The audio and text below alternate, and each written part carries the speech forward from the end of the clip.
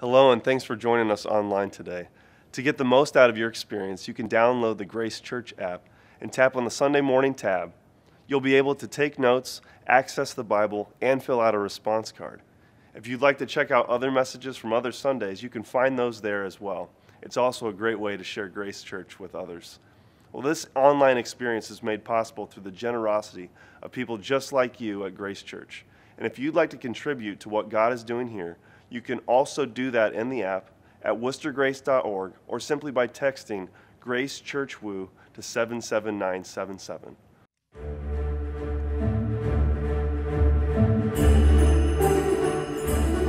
Christmas. It's the most wonderful time of the year, filled with moments that create memories. We often paint a picture in our minds of what Christmas is Christmas cards, parties, meals, and of course, presents. The older we get, the more Christmas becomes all about what we think it should be. This year, let's look for more than the magic and wonder around us. This year, let's celebrate a not about me Christmas. Well, good morning. And Merry Christmas. I'm so glad that you have chosen to join us uh, this Christmas season here at Grace Church. I'm glad you're here. Well, let me tell you, I asked and you answered. A, week ago or so uh, on Facebook, I put a little thing out there and I said, hey, if you could describe the perfect Christmas, in one word, one thought, one sentence, or one picture, what would it be? And man, did you respond. I got over 60 different comments and things. So let's see if maybe one of these things would match what you think would help make a perfect Christmas. And so to do that, when I share something and you're like, yes, that has to be a part of Christmas for it to be perfect, I want to hear some feedback, some like cheering, okay? Are you up for that today since it's cold outside? You're up for cheering a little bit? Okay, four of you. That's great. How about the rest of you? Are you up for it? Yeah? Okay, good. Okay, so for the first person said, in order to have a perfect Christmas, they got to have snow, right? Anybody have to have snow? Yeah. Yeah, boo. Anyway, uh, we're going to get some this week. No, it's beautiful at Christmas and also Easter sometimes in Ohio. But anyway, one person said, Man, I like snow, a lot of snow, 17 degrees, cold air, and snow, lots of snow. I was like, Wow, I get it. So you like snow, right? For that person, you got to have snow to make a perfect Christmas. Or, or how about this one? How about the perfect Christmas music, right? Anybody like, you got to have Christmas music? Okay, four people again. Wow, you people, bah humbug in the crowd today. But anyway, uh, some people have to have the perfect music. Uh, one person even got very specific and said, Michael Bublé Christmas, right?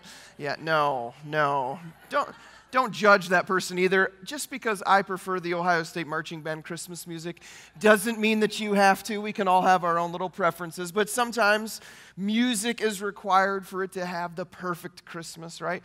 Or, or how about a Christmas tree, right? How many people are real tree fans? Let me hear it. Yeah?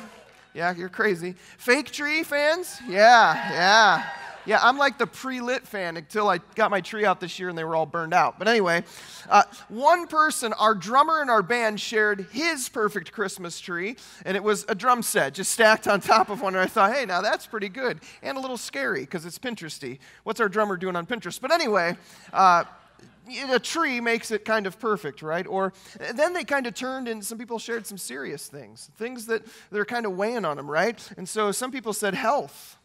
You know, hey, I got a, a loved one or a family member that's sick, and I wish that they would be healthy. Or one person even said, hey, I wish all of our medical bills could just be gone because of the overwhelming feeling, right? That would make my, per- my Christmas absolutely perfect. What would it take to make yours perfect? What is the perfect Christmas? We kind of have it up there in our minds and we have a bunch of images. Uh, one of the most common answers, and many people shared, uh, was faith right? In church. They said, I want to be at church on Christmas celebrating the birth of Jesus. And, and some even mention the candlelight service here at Grace at 11 o'clock. And, and they like to usher in Christmas morning at church because it's a celebration of Jesus' birth, which is also a reminder that we do have Christmas Eve services in two weeks. And the times are completely different than a normal Sunday. So make sure you're checking that card. We have three identical traditional services at 10, 4, and 6 and three identical contemporary at 10, 6, and 11. So make sure you check the schedule. You get here, bring some people with you because faith is a huge element. It's the reason of the season, right? But there was one answer online, just being truthful, that trumped them all, where people said this is the most important part of Christmas family, right? Being around the people that we love. Family was by far the biggest ingredient for people to have the perfect Christmas. One guy who was serving active in the military even just wrote home. I just want to be home for Christmas, right? To be with and to be next to the people that I love. That's what would make it an absolutely perfect Christmas. And so, whatever it is for you that builds the expectation, what happens when it's not perfect, when it doesn't go how you want it to go. That's what we're talking about today. We're in a series called It's Not About Me Christmas. And today we're going to look at what happens when it's not perfect by our standards. And we're going to go all the way back to just before the very first Christmas. So open up your Bibles to the Gospel of Luke, chapter 1. We're going to be in Luke chapter 1, starting in verse 26 and go all the way through 38 we all have a dream or an image of the perfect Christmas. Maybe it's that, you know, we would have the perfect Christmas cookies in an immaculately cleaned kitchen. And, or maybe it's just that our children would get along and there would be harmony in the home, or that they would stay healthy throughout the entire Christmas break, or that the lines wouldn't be too long and the gifts that we get would be appreciated by people. Or just bottom line, the perfect Christmas really is for us, our standards and our culture and our expectation, when we can make the memories we want to make with the people we want to make them with. That's what Christmas has turned into. But what happens when you wake up from that dream and the reality is a little different? What happens when the reality is that there are long lines at the store? There are traffic jams in Wooster, Ohio at certain times of the weekend, right? Or what happens when your kids do get sick or they do fight? What happens when the gifts that you buy aren't appreciated? What happens, dare I say, sometimes Christmas stinks? What happens when it hurts? When the one that you want to be home can't be home. Maybe there's grief in your soul because of a loved one that's lost. Maybe this is your first Christmas without a sibling or a parent or a child. And you're like, man, I want to have Christmas joy, but let me tell you something. This is nowhere near. We are far from perfect because I can't have the thing that I want this Christmas. It's not perfect anymore. What do you do uh, when your perfect Christmas dream collides with the present Christmas reality? How do you respond to that? What happens when your Christmas is an absolute mess? And for some of you, I know it is. It's an absolute mess. Well, I have some hope for you today. Because if you go all the way back just before the very first Christmas, you're going to discover that it wasn't perfect by our standards. As a matter of fact, we would really call it far from perfect. But if today we were just to pause and we were to examine and we were to reflect on what happened in this Christmas story from the Bible, we will see that God is setting up the birth of his son through a not so perfect experience that will turn our expectations upside down and help us have a not about me Christmas and embrace the mess that we see around us. So, frankly, in the Christmas story, Mary, the mother of Jesus, man, it's about to be a complete mess for her. And so we pick up the story in the Gospel of Luke, chapter 1, verse 26, where an angel appears to Mary. Uh, in the sixth month of Elizabeth's pregnancy, God sent the angel Gabriel to Nazareth, a town in Galilee, to a virgin pledged to be, mar- pledged to be married to a man named Joseph, a descendant of David. The virgin's name was Mary. The angel went to her and said, now, now, don't miss this because this is amazing. I mean, if an angel appeared to one of you today and said something, you'd want to tell me about it. And so this is an interruption of her life. An angel appears to a young 13, 14 year old girl and says, Greetings, you who are highly favored. The Lord is with you. Oh, well, that's good news. No, she's terrified by this. She's troubled at his words. She wonders what kind of a greeting it might be, but the angel said to her, Hey, listen, do not be afraid. Mary, you have found favor with God. You'll conceive and give birth to a son, and you're to call him Jesus. He will be great, and he will be called the Son of the Most High. The Lord God will give him the throne of his father David, and he will reign over Jacob's descendants forever, and his kingdom will never end. How, how could this be? Mary asked the angel, since I'm a virgin. The angel answered, The Holy Spirit will come on you, and the power of the Most High will overshadow you. And so the Holy One to be born will be called the Son of God. Even Elizabeth, your relative, is going to have a child in her old age. And she who is said to be unable to conceive is in her sixth month. For no word from God will ever fail. Mary responds and says, I am the Lord's servant. May your word to me be fulfilled. And then the angel left her. And so just before Luke tells us about the birth of Christ, he tells us about an interaction between Mary and an angel. And this is a total interruption of her life, and actually, it, creates a pretty big mess in her world. Now, uh, when we think of this story that's about to happen in Luke chapter 2, we think of a nativity scene like this, right? Uh, where they're handcrafted wood pieces, they're all beautiful, and they're, they're, they're well painted and designed, and the animals stay still. I can't even get my dog to sit, and this thing sits well, you know? And, and so the, the, the Joseph is here, and, the, and Mary's here holding the baby, and it's just absolutely perfect but it's fake. They're fake. This wasn't a perfect scene. Think of what it would have been like for Mary. She's being told by an angel that she's going to be a 13 or 14 year old unwed teenage mom. In her culture, she could have been killed for that. Not perfect at all. And then you go on and you read the story of the birth of Christ and you think of how inconvenient it was. Uh, well, hey, there's this inconveniently timed census that they have to go back to Joseph's hometown to be counted. In the middle of her pregnancy, totally puts her at risk.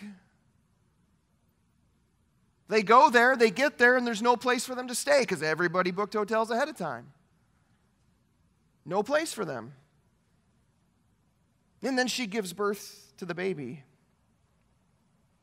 In a rather unsterile environment, they wrap him up in dirty rags and put him in a feeding trough for animals. And then, even though the angel said to her, Hey, your baby's the Son of God, he's going to be worshiped and he's going to reign forever and ever, the first people that come and worship him are the lowest people in society, the shepherds. And for the first couple of years of this child's life, they're running for their lives because somebody's always trying to kill them. This is a far from perfect story from our standards. We would look at the first Christmas and go, what an absolute mess that situation is in. But what if I were to tell you that that Christmas, although far from perfect in our standards, was perfect from God's perspective. That's exactly how he wanted to enter the world. So here's the reality this morning God steps into the middle of a mess and he brings with him a message of hope. That's how he announced the birth of his son. He was willing to step into the middle of a mess and deliver a message of hope. And so, what if this Christmas and its not so perfect reality, you know, where the kids are a little rambunctious and, you know, uh, the, the pain and grief is still there from losing loved ones and the expectations that you set aren't being met and the gifts aren't as good as you thought. And what if all of that was the perfect place for God to redeem this season in your life for you? Maybe, maybe you do feel like your Christmas is a mess, and maybe it's bigger than that. You feel like your whole life is a mess, or maybe it's just an aspect of your life. Perhaps it's a divorce, or maybe it's a fight with a loved one, or a friend, or a coworker, or an illness that you're struggling with, or a financial crisis that you're battling, or bottom line, a job, whatever. It's just absolutely a mess. Right now, you can't make heads or tails of it. Can you imagine today, whatever it is that's creating the mess in your world, that God can step right into the middle of it with a message of hope? And He can use whatever you think is a mess, whatever you think is not perfect, and He can use it for His glory and for your good. He can do that. To get there, I think we're going to have to learn from Mary in the story today. We're going to have to learn to, to let go of the all about me mentality and embrace the not about me attitude. And then we'll see that the story of the first Christmas is a whole lot bigger than Mary. And the story of our Christmas is a whole lot bigger than us. It's a story of hope to the world through this baby born. And so, from the conversation that Mary has with this angel, I think we are remind, given three key reminders about Christmas, especially when it's a mess, especially when our life is a mess. And if you're a note taker, I'd encourage you to write these down. Here's the first reminder uh, the reminder of God's promise, the, of God's promise. God has made a promise to all of us that He will keep. Now, one of the major gifts that our kids have liked getting throughout the years, especially at Christmas, are Legos. And so uh, our middle child, he's a big Lego guy, and, and he enjoys going into the store. And if he has a little bit of money in his pocket and it's burning a hole in there, he has to buy something, and it can be painstakingly difficult for him to decide, right?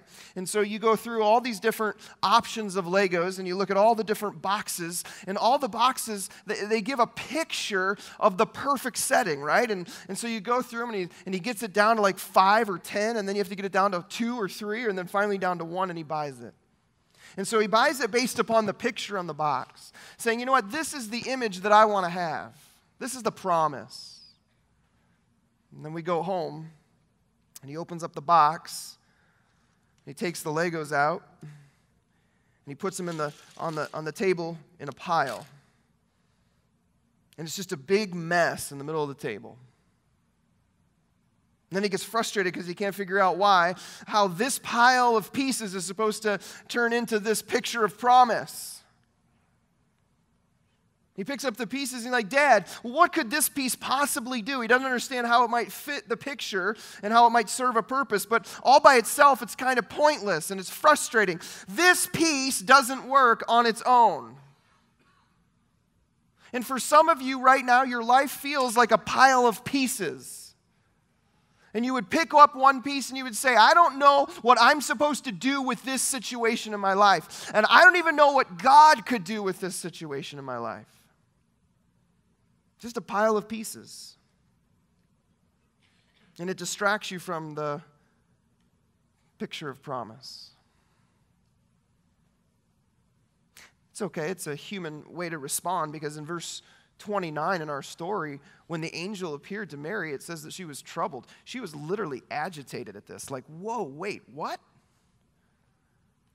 And then the angel gives her this promise. He says, You'll conceive, you'll give birth to a son, and you're to call him Jesus.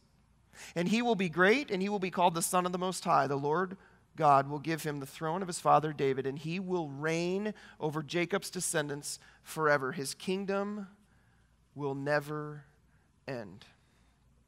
This is a big promise. For a young teenage girl whose life is about to be turned into a mess, this is a promise that's for her, but a whole lot more than that. It's a promise that Jesus will reign and he will rule, that he wins. God wins and nothing can stop his plan. That's his promise to you.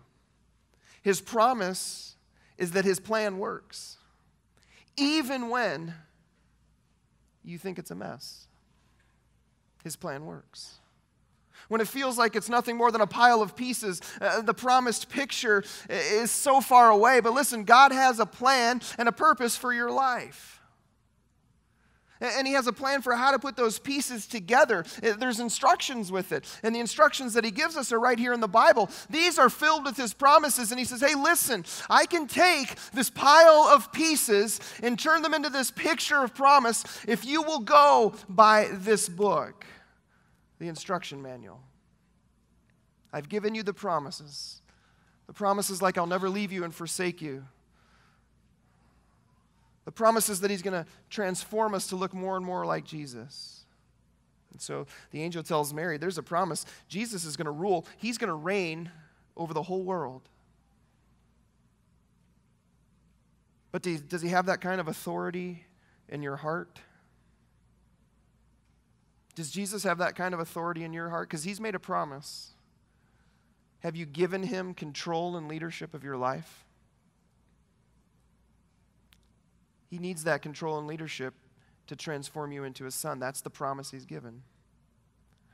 First reminder is his promise. The second reminder is his presence. His presence.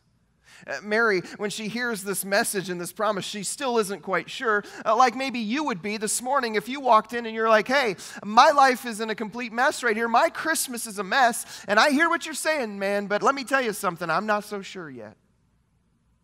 She's not very sure either. I mean, when your life is in pieces and you see the promise, you kind of want to know how. How is this really going to work? And that's what Mary asks. Look at verse 34. How could this be? I'm a virgin. How could this be that I'm going to have a baby?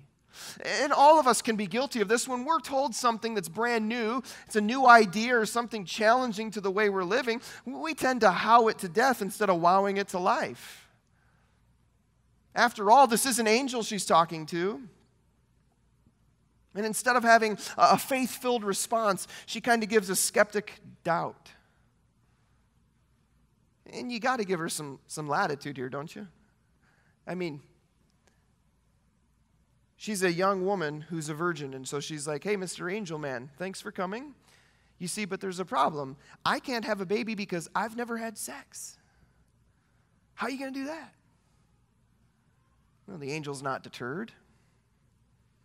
He provides Mary with the who instead of the how. Look what the angel says the Holy Spirit is going to come on you. The Holy Spirit is the presence of God, and His presence is significance. See, when we take the Legos to our house and we put the pile of pieces on the table, and we're trying to get it to look like this picture on the box, it can be frustrating even if we follow the directions because sometimes the directions are a little confusing or sometimes the directions just don't make sense to us or sometimes we're reading the directions wrong. We never like to admit that, but sometimes we are reading the directions wrong. And so my son, I let him kind of figure it out, but eventually he might say, Dad, I need some help here. And so when I come over and I sit there and I kind of help him go through a step or two of the instructions, he gets encouraged because my presence carries some power with it just being there and helping him out. Your presence matters in people's lives. The presence of God is a difference maker in our life.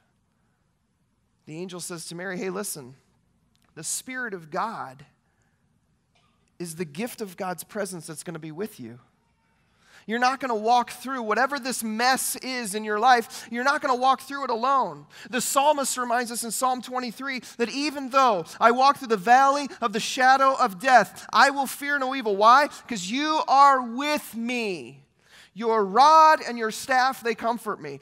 God's presence brings something with it. It brings a rod of correction, which is important because sometimes our thinking and our lives are going the wrong way. And He reconnects us or recorrects our course. But He also has a staff of comfort and care. Whatever the mess is in your world, God's correction and His care and His comfort is available through His Spirit. He is with you.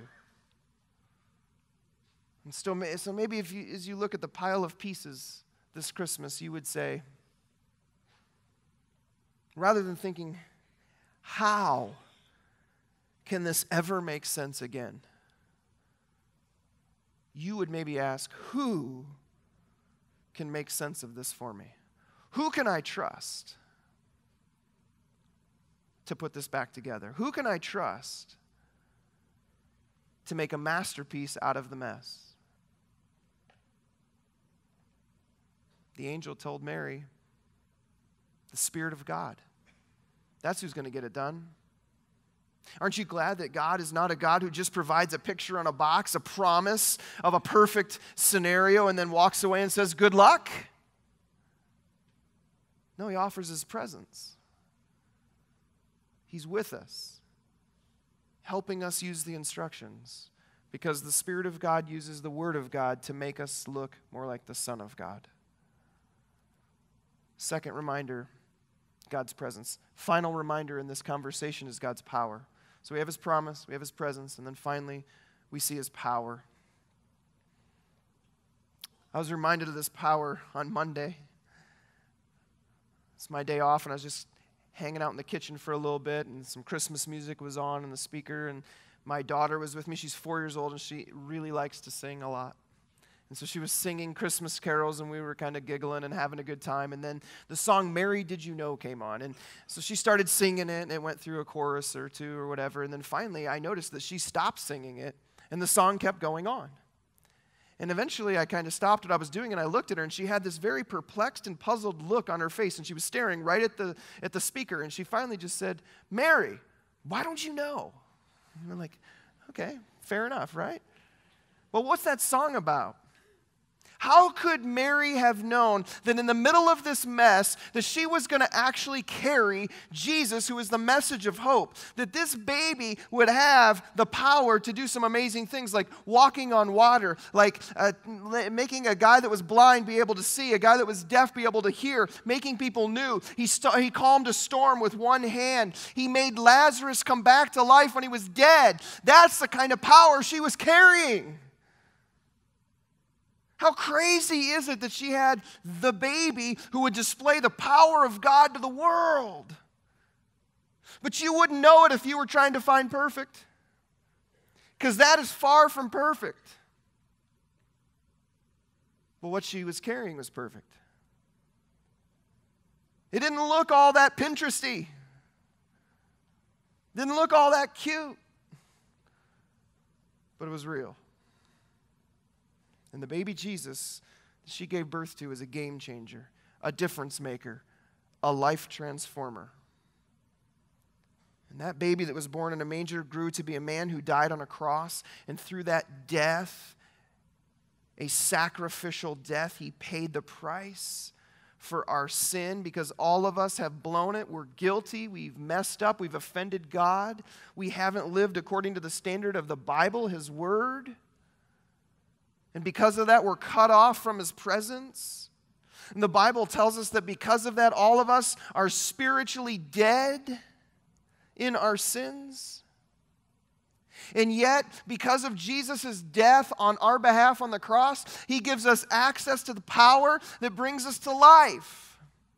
He makes dead things come back to life. That's the kind of power that Mary was carrying. That's the kind of power that's available to you this Christmas. That's what makes it a not about me Christmas. That's what turns it upside down. That's what turns the mess into a masterpiece. Not you, Him.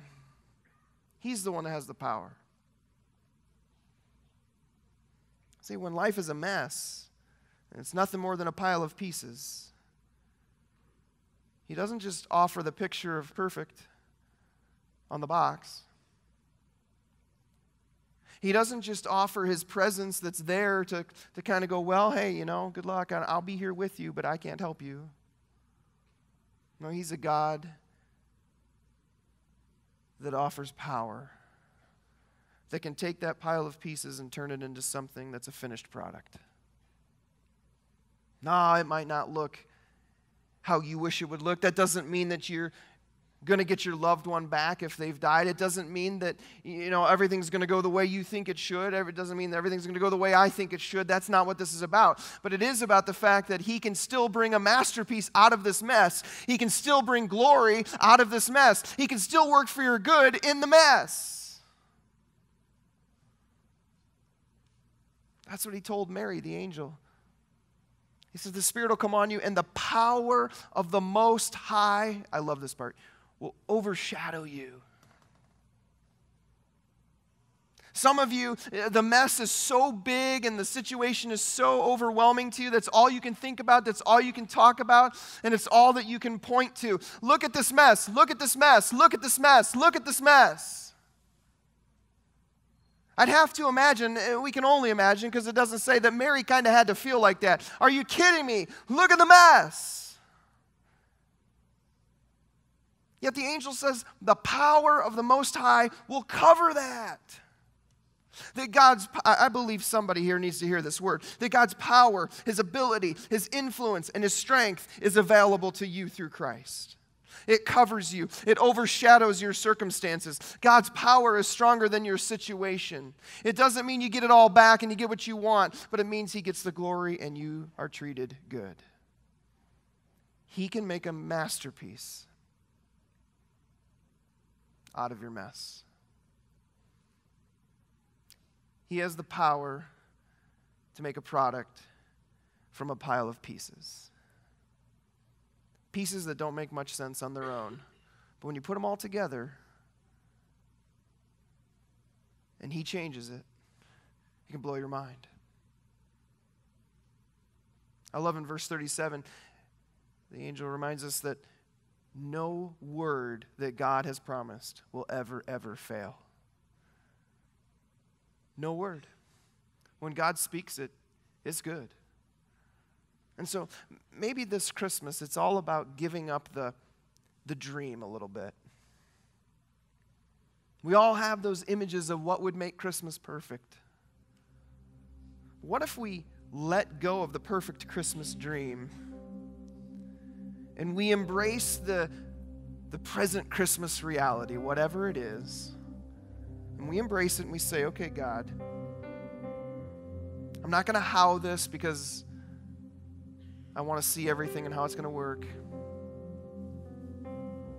I'm not going to try to fix it myself. I'm not going to try to cope and cover it up like it's not there. I'm going to trust and give it to you. You know, that's exactly what Mary did. And every time I read this story, this last verse for, that we're going to focus on today, it always just catches my heart. A young, unwed teenage mom has her life completely turned upside down by the promise of this king that will rule the world one day later, but she's going to have to go through a whole lot of yuck to get there. And look what she says I am the Lord's servant. May your word to me be fulfilled. And then the angel left. Now, I know that this is a lot easier said than done, but it should serve as an inspiration to us of how to respond. You talk about a, a statement of complete surrender.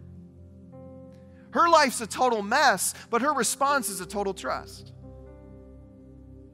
Mary trusted the messenger of God that gave her the hope in the middle of that mess.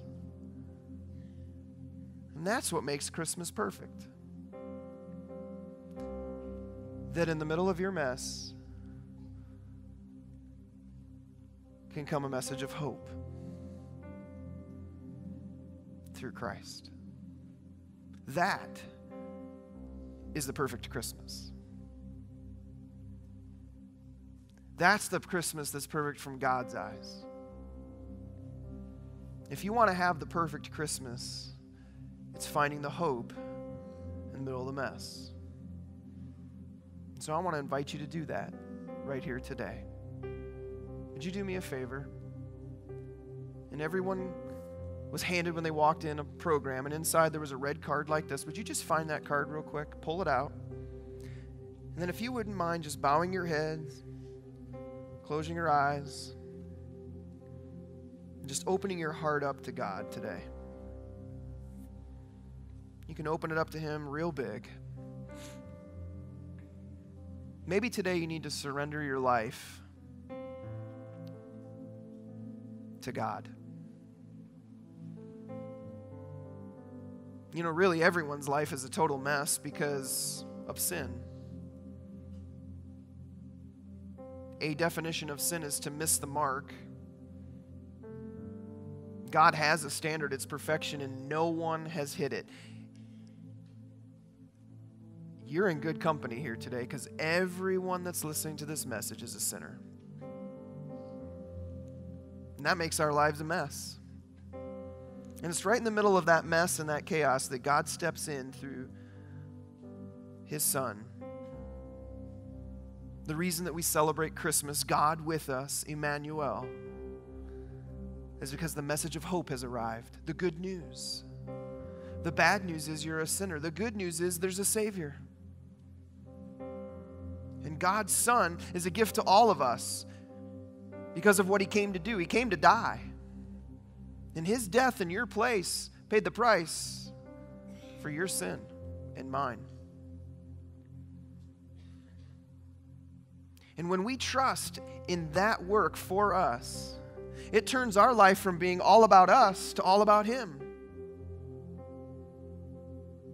And so maybe you could respond to that oppor- to that invitation that he gives to you, just like Mary didn't say, I'm the Lord's servant. I'm here. Have my life. You can talk to him right here, silently in your heart. Every head bowed and eye closed, but you can talk to God. Just quietly in your heart, say to him, I know I've sinned. I know I've blown it. Admit it to him. Thank him for Jesus and what he did on the cross for you. And then surrender control to him. Say, You be the leader of my life.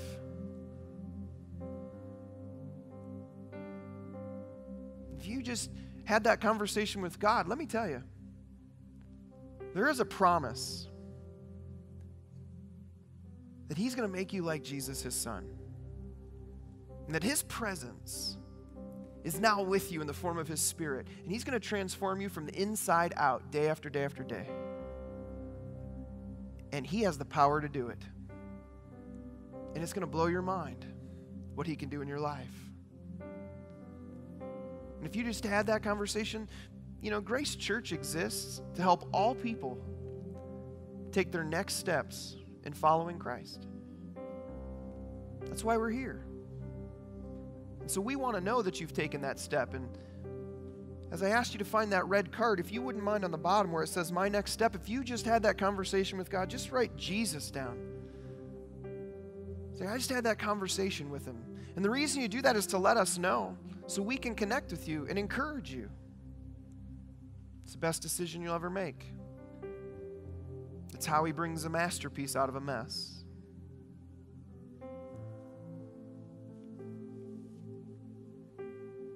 I know many of you in here have already made that decision. So perhaps you need to be reminded of his leadership in your life.